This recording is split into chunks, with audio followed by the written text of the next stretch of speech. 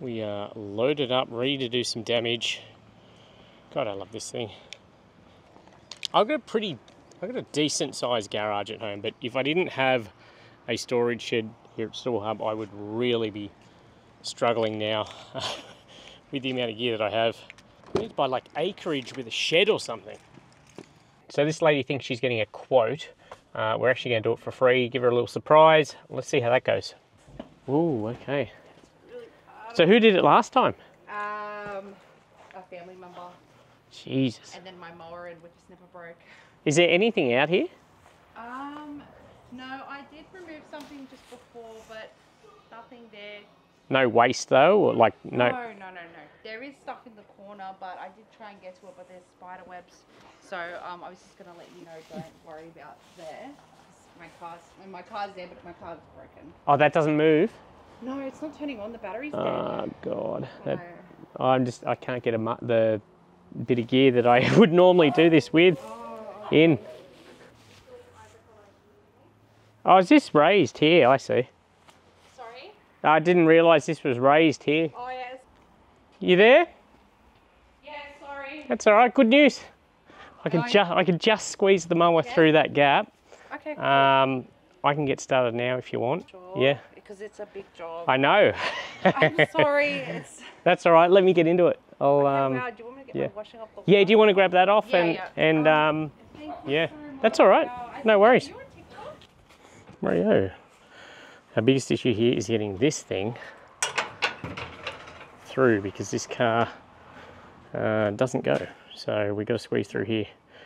Gonna have to move uh, this stuff, the mattresses, and then I'm hoping we can squeeze through here.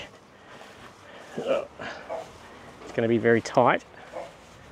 And then out here. Now you could get through it with a line trimmer or even other mowers or whatever. But I, um, the thing that's going to do the best job is the flail mower here at uh, giving her a chance to then maintain it so we can get rid of all the junk. Uh, there's actually a ledge right there which you can't see, so I might hook in with the uh, brush cutter first, the Makita one, just to clear that up so I can see what I'm looking at. Um, it's meant to be clear of debris. I'm going to do a walk through, but it's got these lovely things, the farmer's friends or whatever you want to call them, that just stick to you as soon as you go through. I haven't seen so many of them actually. That's that's pretty wild. Um, so yeah, going to be an interesting, interesting job. Not a big yard, but um, I mean the flower will knock this over easy. Just access is the biggest issue here. And then we're going to have quite a volume of waste to get rid of as usual. But it's definitely better to get rid of it than leave it here to rot. Okay, so we're going to clear a path for the flail mower.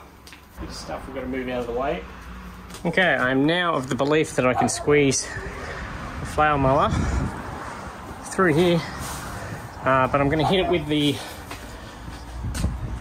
line trimmer first, the brush cutter. So they compare this to a 35cc petrol trimmer, single battery, 40 volt. I usually don't use this um, style, but uh, we're gonna give it a go.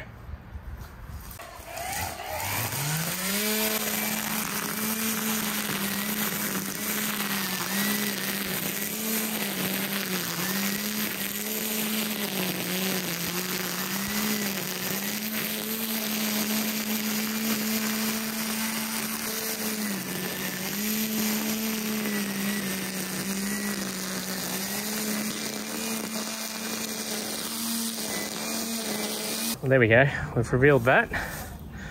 Not on camera. Forgot to hit record, but uh, there you go. At least now I can see what I don't want to be running into. I don't think I'll use that much more today.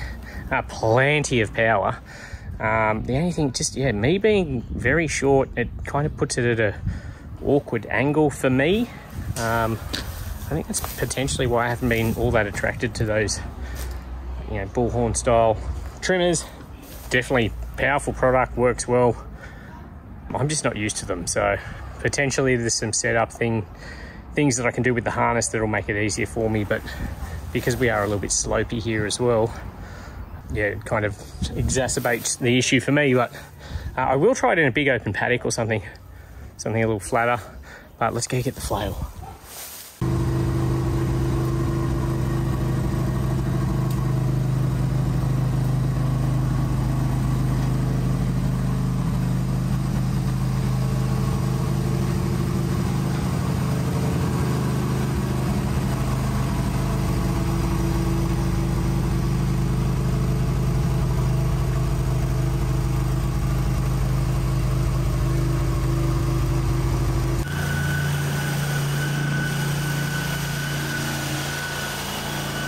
Go. Just shows how easy it gets through it.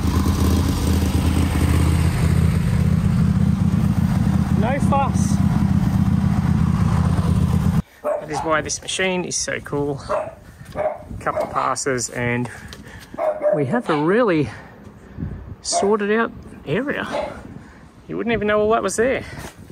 Let's get into this. Hopefully this will be satisfying to watch this get knocked down. Where do we start?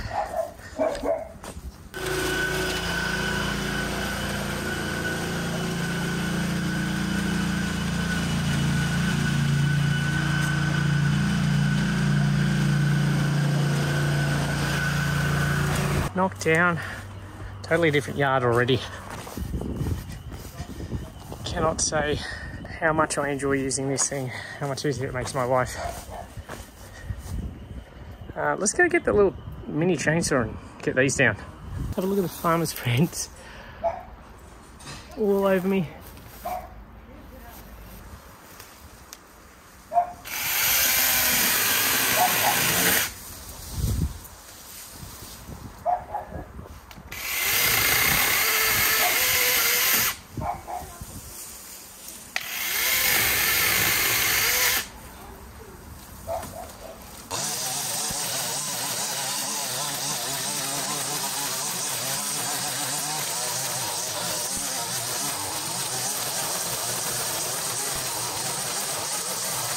There we go. Now this path can be used.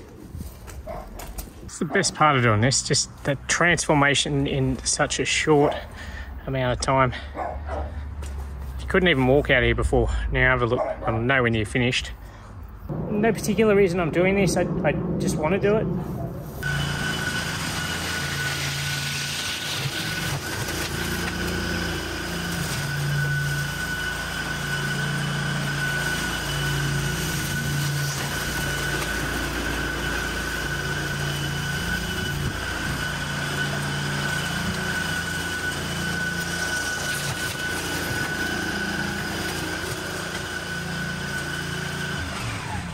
That was ridiculously effective.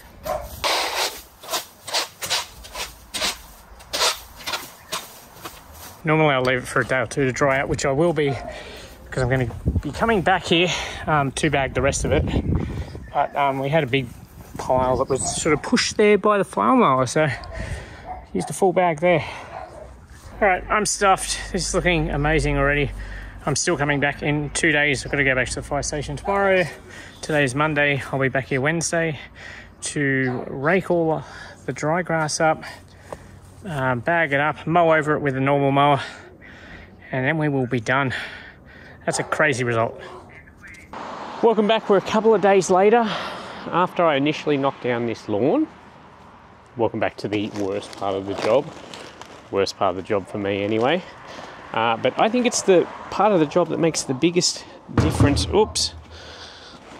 Going forward for the lawn.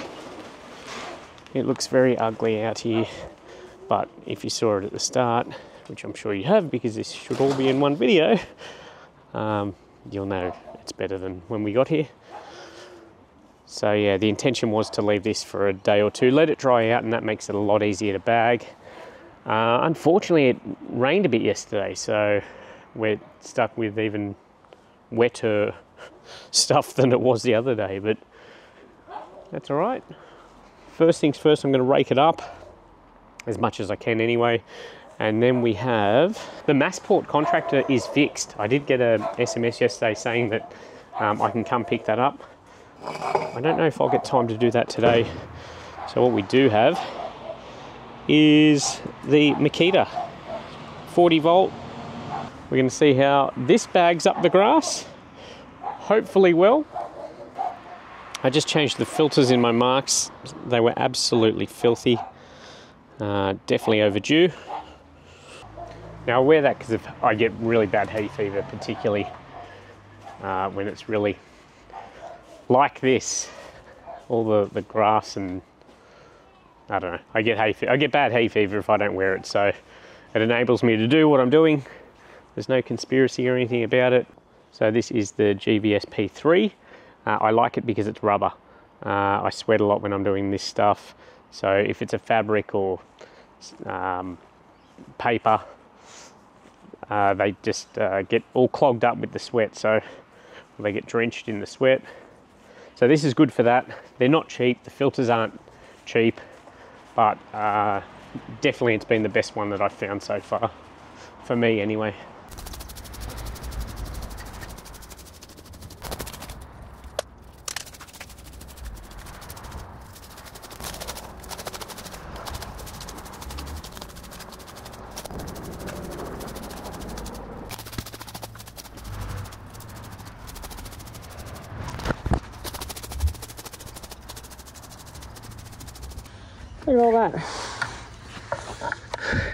There's still a lot more to vacuum up.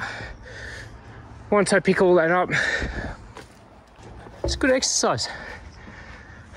So I knew that was going to happen when I mulched up all those uh, weeds that were on the fence there. That I just have to pick them up. Uh, nice and wet. Heavy bag now. But it was fun to mulch that stuff up. I also get a lot of questions about this shovel. Uh, it's just a Cyclone wide mouth one from Bunnings, a plastic one. Does the job well for me. I am doing a lot of bending over to get this stuff picked up though. I'm sure there's a, another way I'll try at some stage. It's probably a bit easier. Picking up grass is just hard work. Um, it's always good to pull out as much of the rubbish as possible because this goes to a centre where it gets um, all ground up and recycled and turned into a soil conditioner so this stuff's not good. Bagging test time. This is the uh, 40 volt Makita um, self-propelled mower. It has four swing back blades, which is very traditional here for Australia.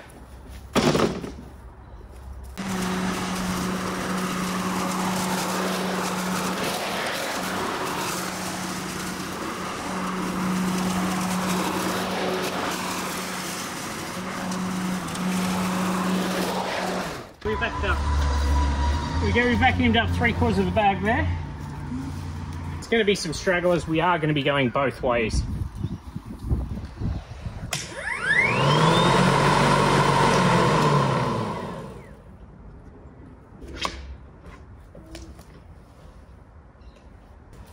I can't work it out. It's got some sort of vibration now. Just randomly.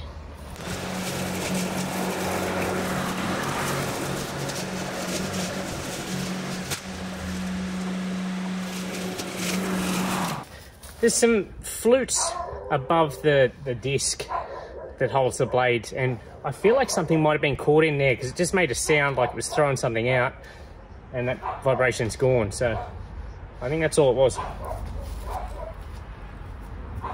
This turned out sensational.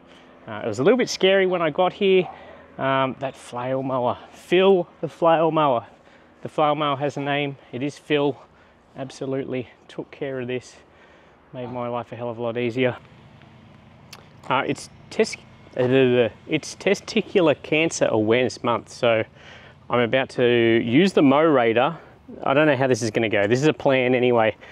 We're going to try and mow the shape of a man's appendage and um, in the grass. Uh, all in good fun, all for um, Testicular Awareness Month the charity that runs it um, reached out to me asking if I could do something like this, and I thought, sure, why not? Not too hard. Hopefully, it doesn't get me demonetized. Yeah, I, I really don't know how it's going to go. I, am going to throw the drone up in the air, and uh, I don't know. We're just going to play this by ear. this could go really terribly. Uh, in fact, I think it probably will, but let's give it a whack. Well, that was a failure. I did end up getting some footage of the Mowrator working, so I guess that's something. So it wasn't a, a total waste of time, but a little bit too hilly here. The grass was a little bit too long. Let's go for a run through that, champ.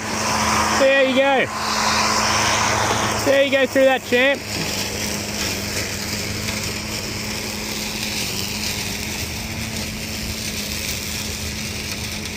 Ah. Looks like you got through it. You gonna come back to me?